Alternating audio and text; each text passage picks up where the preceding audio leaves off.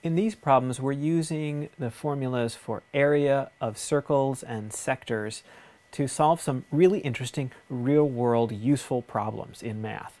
So this should be fun. The first one says, a round pizza with a diameter of 48 centimeters is cut into 15 equal sectors, so 15 uh, triangular or pie-shaped pieces. A square pizza with sides of length 47 centimeters is cut into nine equal squares. Okay, so you've got a circle that has a diameter of 48 and it's cut into these 15 of these pieces. Then you've got a square that's a little bit smaller than the circle is uh, around or across and so that's 47 and it's cut into nine equal pieces so I guess they did a tic-tac-toe kind of thing and they cut it into square pieces and uh, you have a choice. You're going to grab one of these sectors or one of these squares. Which one's going to give you the most pizza? Of course you want to know, so you're going to do some quick calculations before you take your pizza. So let's figure out the area of the sector first. We need to know what fraction of the, of the circle it is. In this case, they're telling us there are 15 pieces. So you know one piece is going to be 1 15th. And then we're going to multiply that by the area of this circle, which is pi times the radius squared. The diameter is 48, so the radius would be half that, or 24. So that's 1 15th times pi times 24 squared. And when you crunch the numbers on that, you're going to get 120.64 or so square centimeters. All right, let's try the square pizza. This one, um, we want to find out what's the side uh, of one of these square pieces. So one of these sides is 47 centimeters long and it's cut into three equal pieces. So this side is going to be 47, this little side here, 47 divided by 3, which is 15 and 2 thirds. And then the area would be that side times itself, so times 15 and 2 thirds.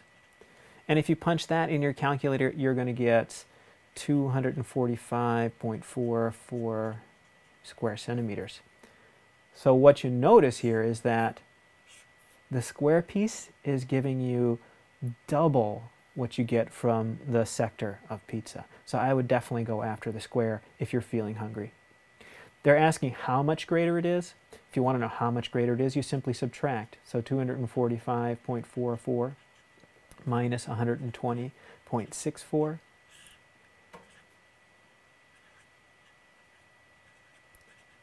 and you get 123.8 more square centimeters of pizza.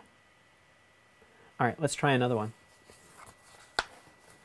This one's about a construction project. It says the figure below represents the overhead view of a deck surrounding a hot tub. So this part in the middle must be the hot tub, and this on the outside must be the deck.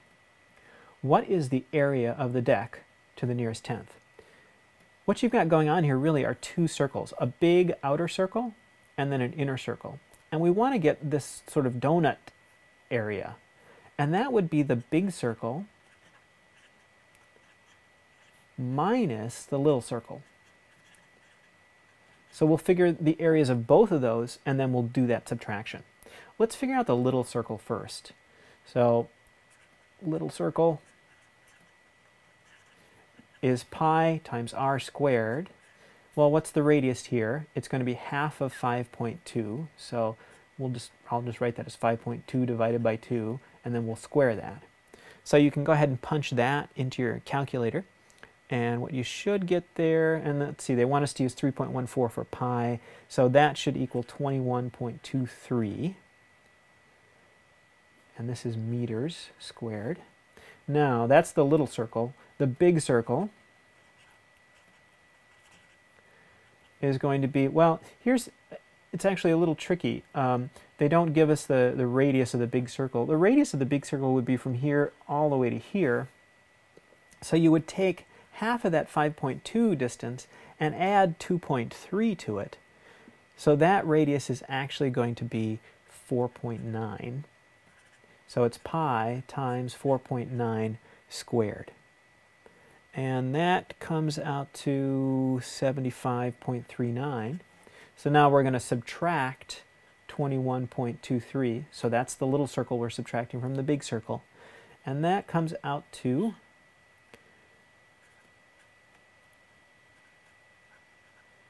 should come out to 54.16, and this is square meters. So that's the area of the deck. Let's try one more. Okay, this is one of my favorite types of problems. They're asking what is the area of the portion outside the circles but inside the square. So imagine you take a piece of paper here, a square piece of paper that's 28 inches on a side. You cut out those circles very carefully and what's the area that you have left, the scraps. So what you want to do here is you want to take the area of the square and subtract 4 times the area of one of the circles. Okay, so you're subtracting the four circles from the square. So we're going to need to know what uh, the radius of one of these circles is. And what you can see is since two circles side by side fill up that whole length of 28, what that says is that two diameters is 28. So a single diameter would be half of that, or 14. So a radius would be half of that, or 7. So now we can figure out the area of one of these circles. The area is going to be pi times the radius squared, or 49 pi. Now I'm going to stop at 49 pi because it says express your answer in terms of pi. So we'll just leave it there. We won't figure out the decimal. Now let's figure out the area of, well actually let's figure out the area of four of those circles. So that would be 4 times 49 pi, and that would be 196 pi. Now, let's figure out the area of this guy. That's a square, so the area is going to be 28 times 28, or 28 squared. And that's easy enough. That's going to be 784. So we wanted the area of the square, 784, minus the area of four of those circles, which is 196 pi. And when we're expressing this in terms of pi, that's all the farther we have to go. That's a perfectly appropriate answer.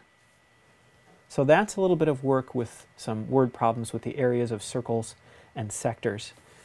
My name is Larry. I am a teacher at EdVisions Off Campus, an online project-based school for 7th through 12th graders.